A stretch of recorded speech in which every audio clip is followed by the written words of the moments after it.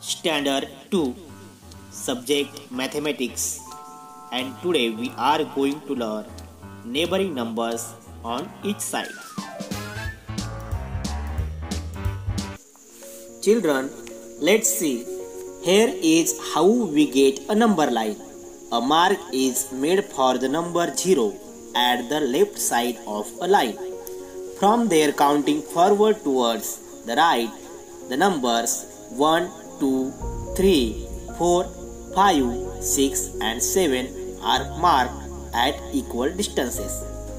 Look at any part of this line. Let us take any number on this line. Let's take 23.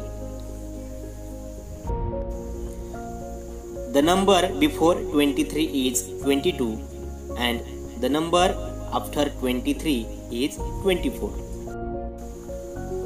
From this example, what do we see? For any number, the neighbor on the left is one less and the neighbor on the right is one more. In the empty boxes, write the number that comes immediately before and the one that comes immediately after. 54.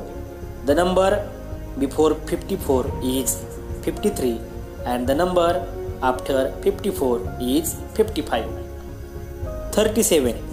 The number before 37 is 36 and the number after 37 is 38. 50.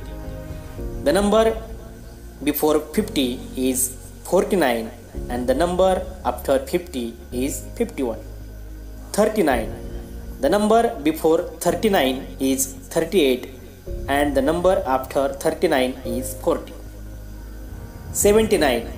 The number before 79 is 78 and the number after 79 is 80. 62. The number before 62 is 61 and the number after 62 is 63. 78. The number before 78 is 77 and the number after 78 is 79. 30. The number before 30 is 29 and the number after 30 is 31. 40. The number before 40 is 39 and the number after 40 is 41. 99. The number before 99 is 98 and the number after 99 is 100. 32.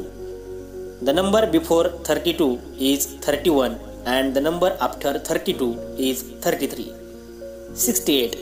The number before 68 is 67 and the number after 68 is 69.